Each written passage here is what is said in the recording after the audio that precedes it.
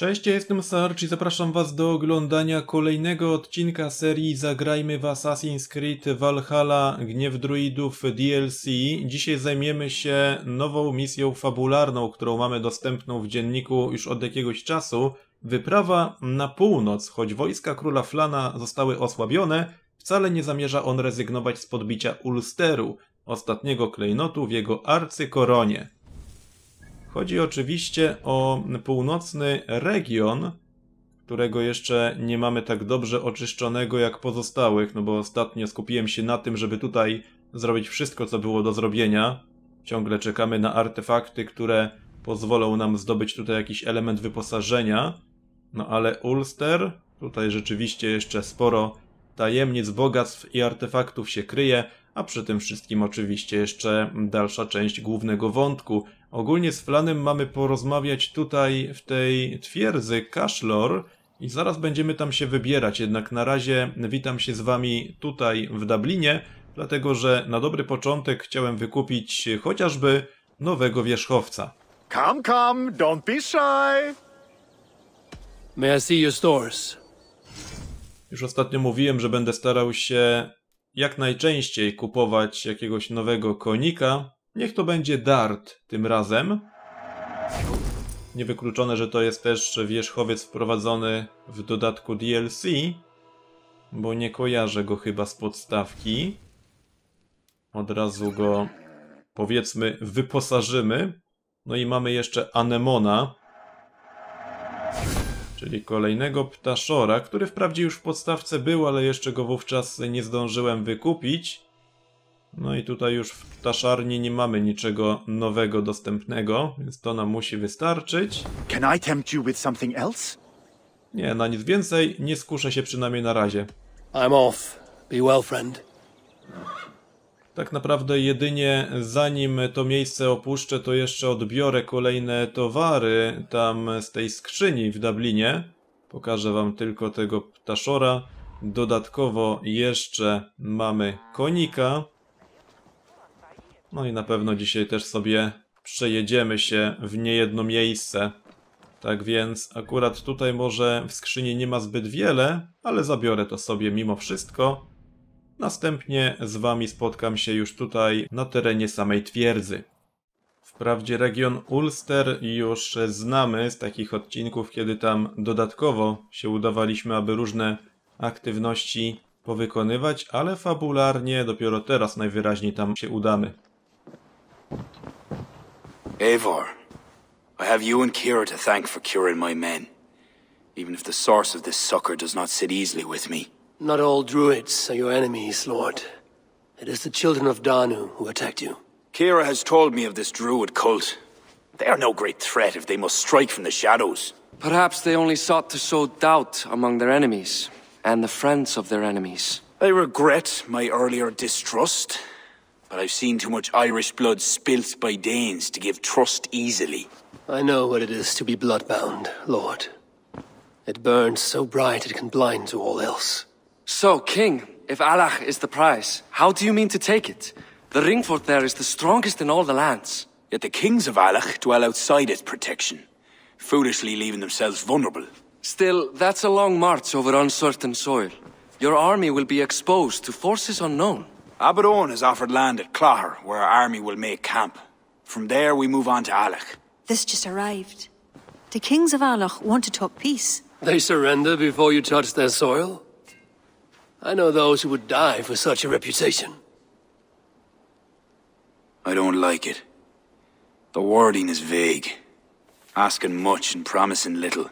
What's the harm in hearing them out? If we start with the sword, we have nowhere else to go. They know me, they'll listen. You would speak for me. If you would honor me with your trust. Do you have an opinion, Eivor? Or will you simply side with your cousin? Nie do końca do Eivora należy taka decyzja. It's not my decision to make, Lord. Too much is balanced on the edge of a scold's sharp blade. So, you would leave it to your fate. Drift along like a leaf on the river.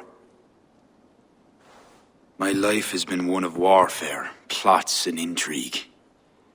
I have never known the trust of a brother, and do not give mine over easily. Bareth McEver, King of Dublin, I hereby authorize you to speak for me, Flan Shinna, High King of Ireland and all of her people. I will honor the faith you have placed in me, my king. Do I have your blessing to accompany Barith, King Flann? I'll not waste our time on formalities, Eivor. But you'll not be going with Barrett. I need you elsewhere. Tell me where. You must build up some goodwill among the northern Enail, as you've done for other kingdoms. Kira will provide the details at the pigeon coops. I will earn you favor, Lord, for the trust you've shown my cousin. Czyli znowu gołębniki nas interesują. No dokładnie.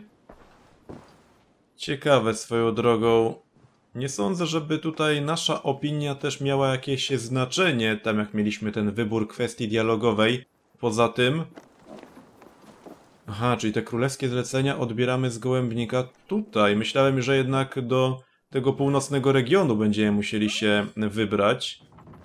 No dobra, to w takim razie ruszajmy tu. No tak się składa, że ja tutaj na tym obszarze już chyba sobie zbudowałem namiot łupieżcy, czyli to powinno sprawić, że będą zwiększone nagrody? Możliwe, że tak. Ale jeszcze właśnie wracając do kwestii Barifa, pewnie niezależnie od tego, co byśmy tam powiedzieli, no to i tak by to poszło właśnie w takim kierunku. No tutaj trzeba przyznać, że los Barifa się zmienia jak w kalejdoskopie. Jeszcze przed chwilą, no tak mówiąc w cudzysłowie, ale jeszcze niedawno Flan uważał Barifa za zdrajcę, a teraz kurczę, Barif będzie działał w imieniu Flana. Okej. Czyli patrzcie, namiot łupieżcy premia wyłączona. Ale ciekawe. Wiecie co, ja nie będę ryzykował, nie będę tego na razie przyjmował. Tutaj mamy też Kirę, ale na razie nie będę ryzykował przyjmowania tego. W pierwszej kolejności przeniósłbym się jeszcze do tej placówki handlowej, dlatego że tutaj namiot łupieżcy mogę zbudować i wtedy rozumiem, że zwiększymy sobie sugerowane nagrody. Pytanie tylko, które to będzie do zbudowania po tej stronie? Oczywiście, że tak. Po zbudowaniu namiot zapewnia premię do nagród za królewskie zlecenia. No, trzeba też przyznać, że sporo udało się ostatnio zdobyć tutaj akurat tych surowców, które są potrzebne właśnie do rozwijania placówek handlowych, więc nawet się jeszcze zastanawiam w tym momencie nad tym, czy od razu w magazyn też nie pójść, bo tu mamy teksty, a w tym przypadku, no właśnie, to jest tylko limit na 100 tych tekstów, więc w sumie przydałoby się zbudować magazyn, wtedy będziemy mogli więcej mieć tych tekstów w skrzyni. A więc budujemy od razu.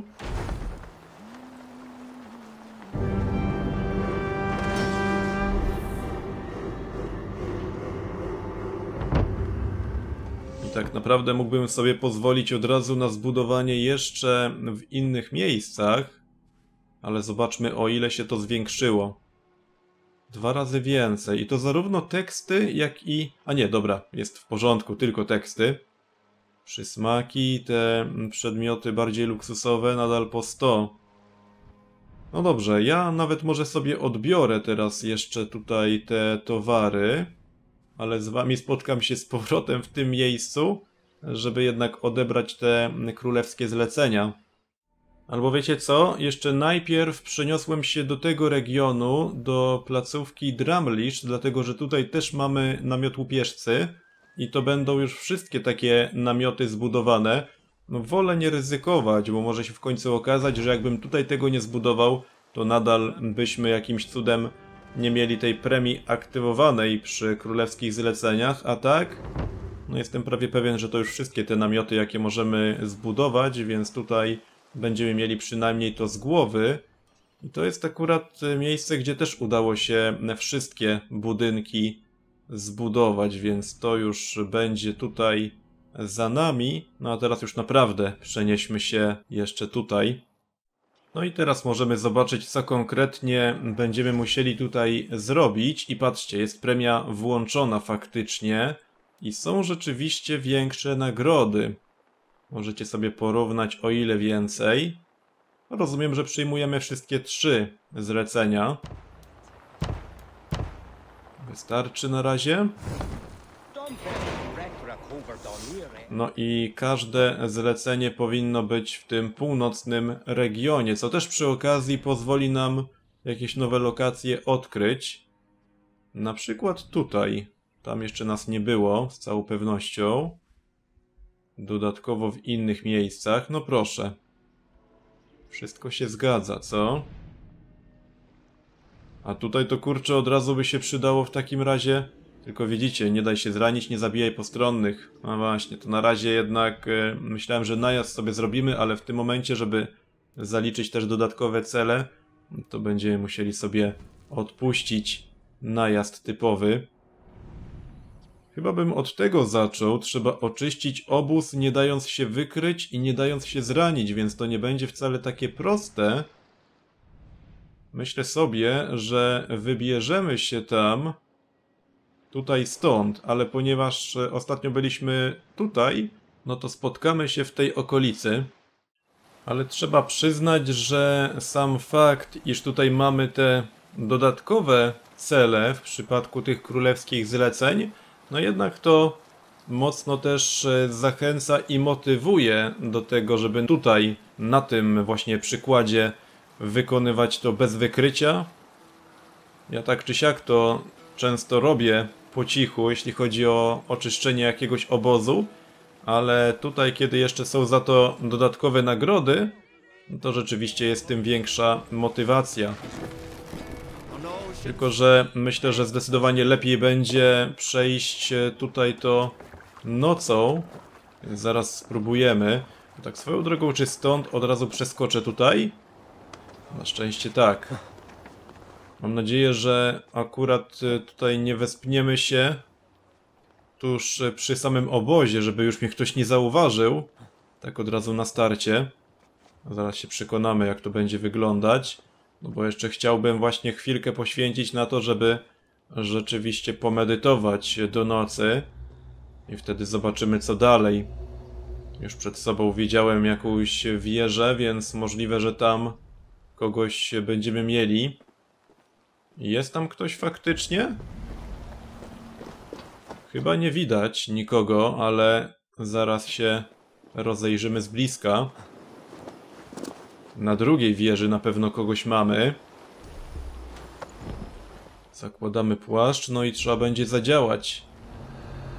Okej, okay, tutaj mamy kogoś.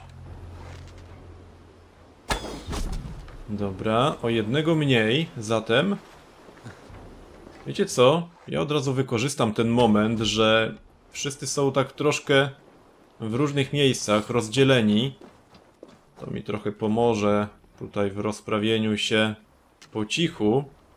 Teraz właśnie zająłbym się tym, którego mamy na tej wieży. Akurat stąd chyba uda mi się go trafić bez problemu. Może jeszcze troszkę wyżej. Dobra.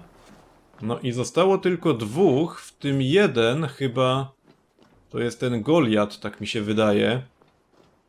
Rozumiem, że tutaj na wieży nie mamy żadnej skrzynki, więc mogę spokojnie zejść. No i teraz właśnie bym zajął się tą dwójką. No, jest to trochę ryzykowne, bo nie wiem, czy jak zaatakuję tego Goliata, to czy ten drugi się nie zorientuje od razu. Wiecie co? Może dla pewności zróbmy w ten sposób. Załatwię najpierw tego. A teraz wystarczy tylko zaskoczyć Goliata.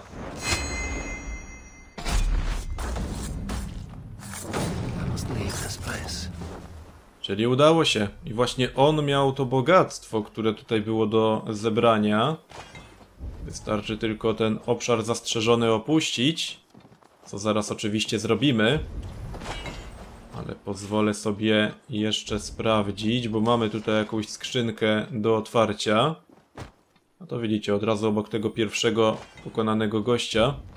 I jeszcze tam jednak coś zostawiłem. Do tego oczywiście też nie odpuścimy.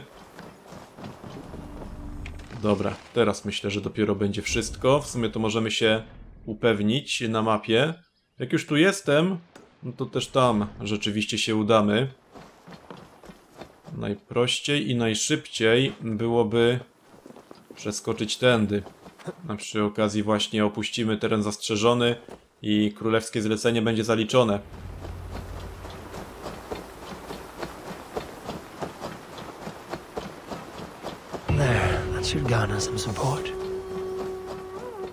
Czyli to by było na tyle. Od razu skóra i teksty. To, co zdobyłem właśnie za to zlecenie. A teraz zobaczmy, gdzie tu jest wejście do tych skrzynek, które najwyraźniej są w podziemiach. Ja chyba na sam dół muszę zlecieć, patrzcie. Rzeczywiście tak to wygląda. Mam nadzieję, że tutaj zaskoczę. A dokładnie. A to ciekawe. Nikt tego miejsca nie pilnuje nawet? O dziwo? Nie. Ale tym bardziej cieszę się, że najpierw tutaj zajrzałem, bo później nie będziemy musieli specjalnie w tę stronę podchodzić. A po tym pasku po lewej stronie widać, że trzy zlecenia chyba wystarczą. No jeszcze się przekonamy. W każdym razie tutaj to wszystko. No wprawdzie mamy jeszcze jakieś artefakty. No ale nie możemy zapominać o tym, że tutaj ciągle jeszcze czekają kolejne zlecenia. Czyli na przykład do odzyskania mamy królewskie klejnoty. I teraz się zastanawiam, skąd najprościej byłoby się tam dostać, bo... No tutaj kurczę punkt szybkiej podróży, najbliższy to będzie ten. I chyba właśnie z niego będę musiał skorzystać. Dobra, widzimy się tutaj.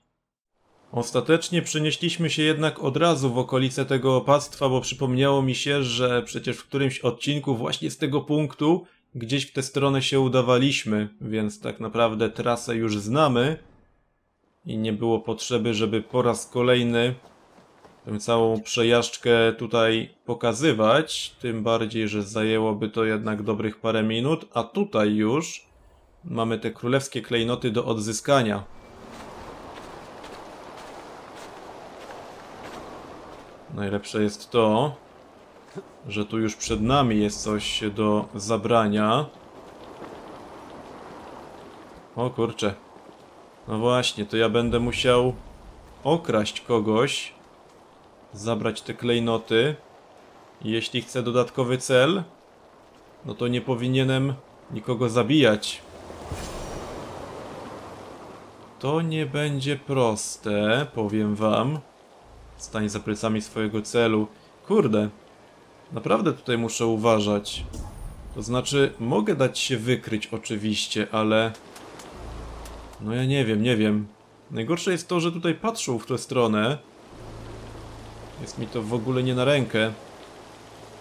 Nie bardzo mam jakąś możliwość, żeby to zrobić.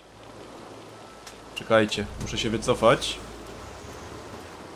I zobaczymy. Dobrze by było kogoś uśpić tak w ogóle, wiecie? Mamy tutaj przecież takie możliwości. A to nie będzie przecież zabijanie osoby postronnej, więc może powinienem właśnie o tym pomyśleć. Tutaj bomba dymna akurat. Kurczę, oślepieni przeciwnicy, a może właśnie to powinienem zrobić bardziej. Oślepić tutaj kogoś. No zobaczymy, jak to wyjdzie.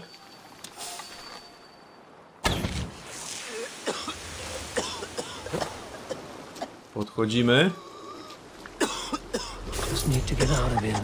I spadamy stąd jak najszybciej. Od razu do tyłu. I powiem wam, że świetnie to wyszło. Takie dodatkowe cele sprawiają, że tylko jeszcze bardziej muszę kombinować, bo to są właśnie sposoby, z których ja na co dzień często nie korzystam w tej grze.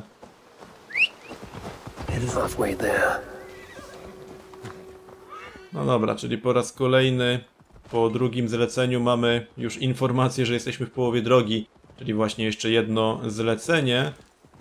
I będzie to już wszystko, co tutaj mieliśmy do zrobienia.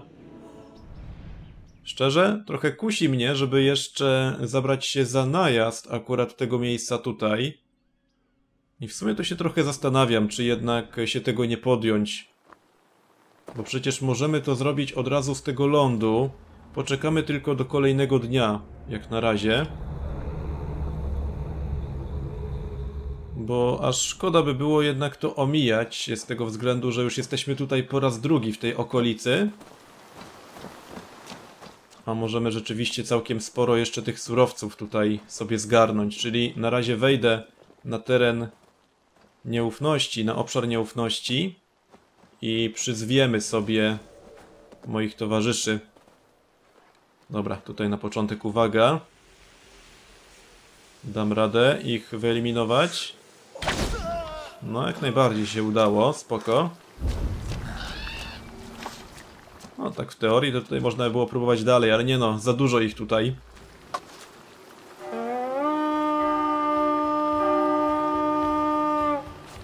Zdecydowanie ich za dużo, więc od razu zacznijmy walkę. Płaszcz już nie jest tutaj potrzebny.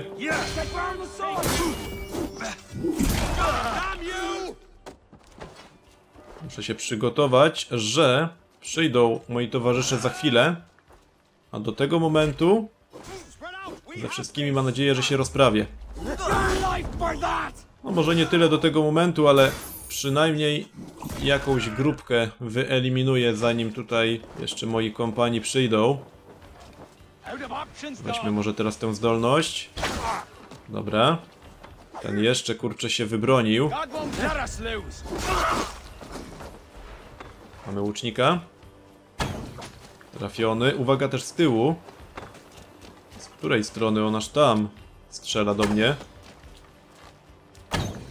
Dobra. Może jak już tu jestem, to bym pootwierał te mniejsze skrzynki przy okazji. No i są wreszcie moi towarzysze. Więc tutaj wykorzystać to.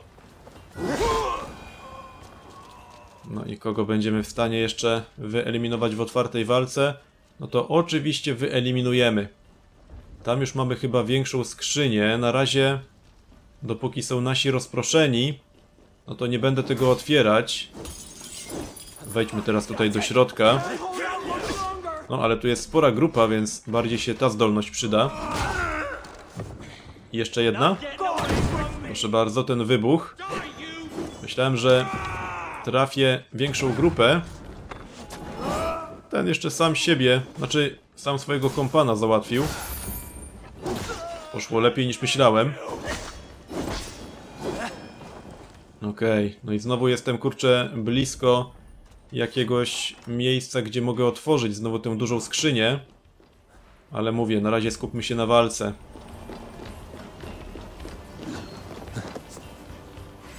Ty będziesz następny w kolejce. Może uda się gościa przewrócić? A gdzie tam? Trzyma się twardo na nogach.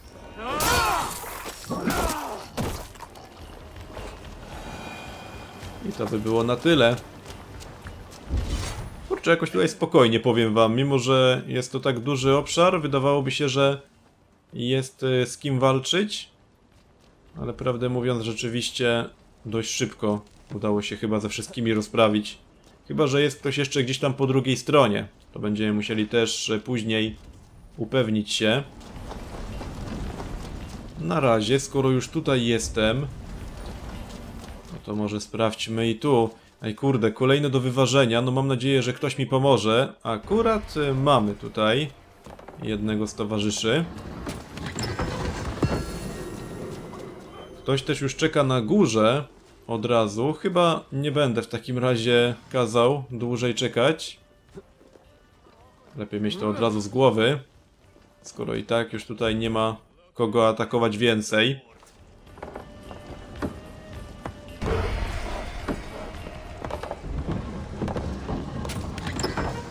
Dobra, jeszcze więcej zasobów w placówkach handlowych. Tam właśnie jest ta mniejsza skrzynka.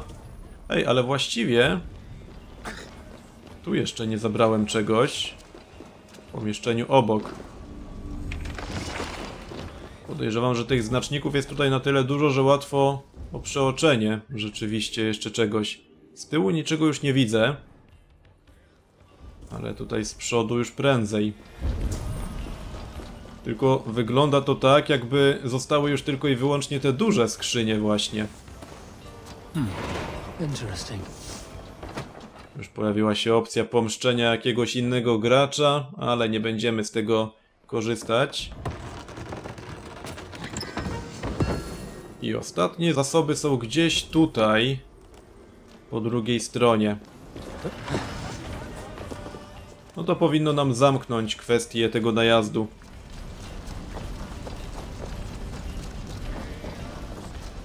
Nikogo jeszcze tutaj nie ma. A proszę, błyskawicznie się ktoś pojawił.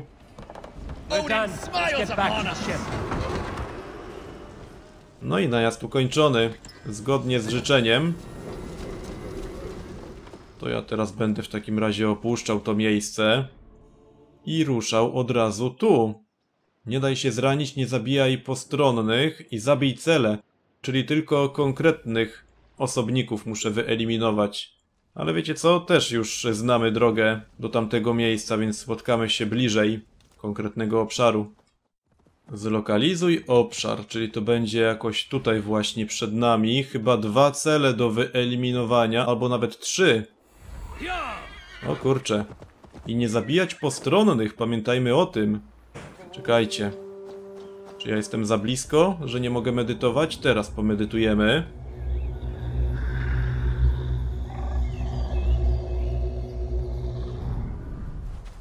No i mam nadzieję, że to nam wyjdzie. Wbrew pozorom to może być jeszcze cięższe. Kurde, jak na złość. Ale okej. Może jednak mimo wszystko się nadal to jeszcze uda. Trafiony. Całe szczęście. Nie wziąłem pod uwagę, że tutaj będzie tak blisko już e, jeden z tych gości, których mam zlikwidować. Ale akurat możemy tutaj dać się wykryć. Byle tylko nas nie zranili, bylebyśmy my nie zabili nikogo innego. Przeniosę go, żeby nie rzucał się tak od razu w oczy. Teraz zobaczmy co dalej. Bo tam jeszcze kogoś mamy. Ale to nie jest mój cel, jak rozumiem. Dziwna sprawa, bo mam ten obszar cały oznaczony, ale Mam nadzieję, że jestem wystarczająco blisko, żeby mi pokazało mój cel. Czyli możliwe, że to będzie tamten na końcu? Skoro tutaj jeszcze nie widzimy. Kogoś mamy jeszcze tutaj na murkach. O to będzie łatwiej, żeby go tutaj wyeliminować.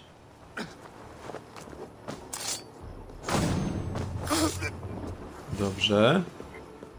No i tamten rzeczywiście został. To tylko formalność. Kurde, musiał się ruszyć. Co on właściwie robi, że tak przebiega na szybko? Dziwna sprawa, ale... Możemy dokończyć dzieła. Tylko, że w przypadku strzału z dystansu no, trzeba jeszcze dobić cel, potwierdzić zabójstwo niejako.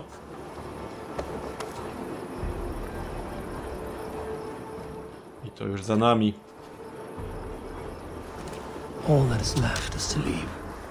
Dobra, czy my w takim razie tutaj zrobiliśmy wszystko? Można przy okazji sprawdzić ten artefakt po drugiej stronie.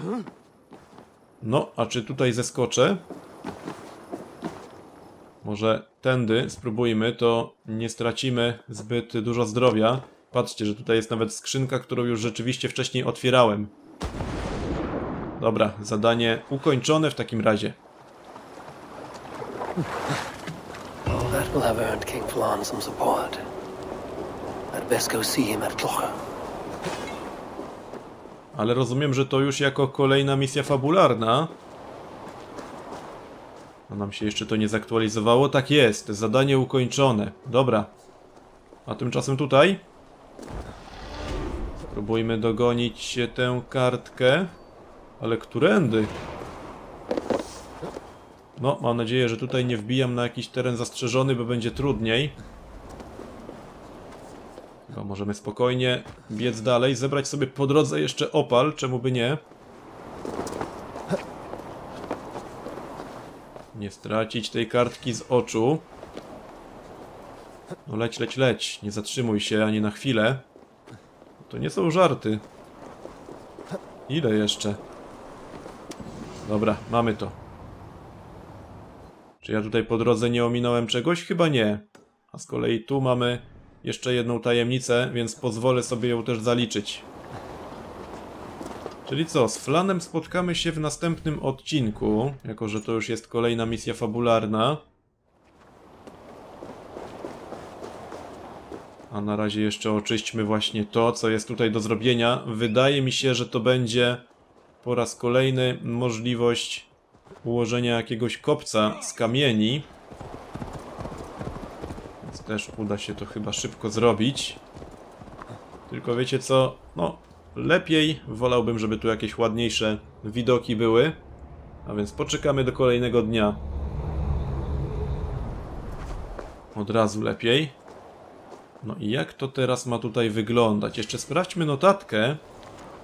Rozważania Kiry o grobli olbrzyma. No proszę, to już kolejny raz, kiedy mamy jej notatki.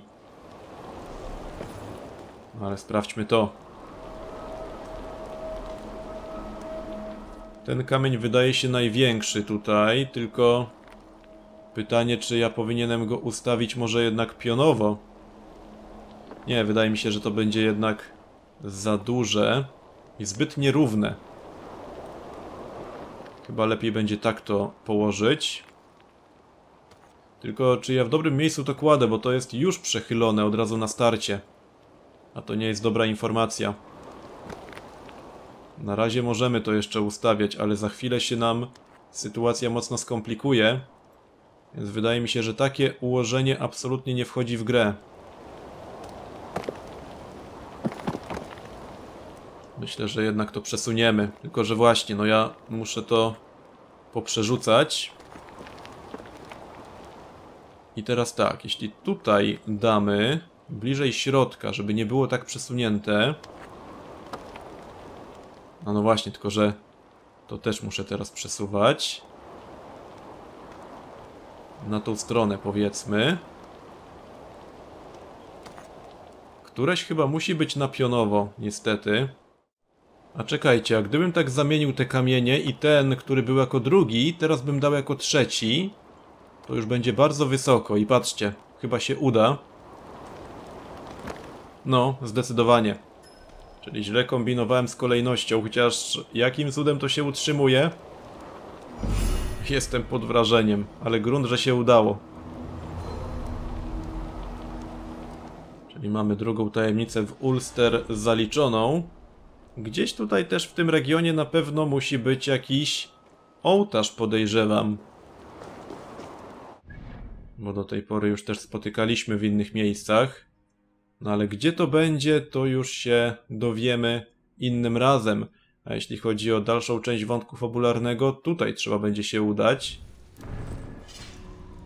Jeszcze spojrzę tylko na to, co się pojawiło w tym miejscu. Ach tak, no bo tutaj przecież mamy ten nowy tatuaż. I dodatkowo 3 punkty umiejętności łącznie. Tu ostatnio chyba skończyłem. Dajmy dodatkowe zdrowie, drogę kruka i obrażenia od lekkiego ataku zwiększone. Ja będę musiał oczywiście poza nagraniem wrócić sobie też tu. Patrzcie, mamy oczywiście już limit. Wiecie co? To ja jeszcze zanim się z wami pożegnam, poszukam miejsca, gdzie te przysmaki są. Na przykład tu. I zbudujemy sobie magazyn koniecznie. Wprawdzie na tym etapie produkcja towarów nie jest już tak istotna, skoro i tak ukończyliśmy te kolejne zlecenia u Azar, ale zawsze są te, które pojawiają się w nieskończoność, na których można tam jakieś grosze zarabiać. Tutaj ten skład zaopatrzenia, którego jeszcze w żadnej placówce nie zbudowałem. Myślę, że trzeba zacząć od magazynu.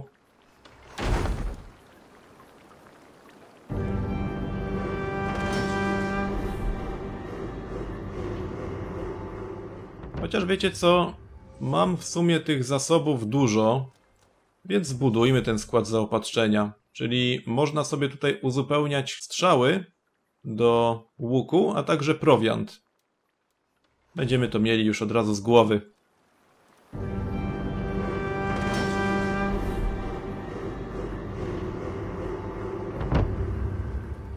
Tylko, że to też nie tak, że mamy tutaj jakieś ogromne ilości tych strzał zapewne. No ale w razie potrzeby można rzeczywiście sobie uzupełnić. Teraz mam zapasy pełne, więc jest mi to niepotrzebne. I zdecydowanie te składy zaopatrzenia to będzie coś, co ja w ostatniej kolejności powinienem budować. Już magazyn się prędzej właśnie przyda. Zwłaszcza teraz jak sobie spojrzymy, że tutaj po 200 możemy sobie zbierać przysmaków czy tekstów. No jeszcze te materiały luksusowe to jest tylko 100, ale akurat tego nam aż tak dużo nie przybywa. Tutaj magazyn to już zbudowany był, ok. A to widzicie, czyli ja chyba nie jestem w stanie już bardziej tego limitu zwiększyć. Bo tylko mamy jedną placówkę z tymi materiałami. No cóż, w takim razie na tym zakończymy i w kolejnym odcinku ruszymy zajmować się jeszcze jedną misją fabularną. Cześć!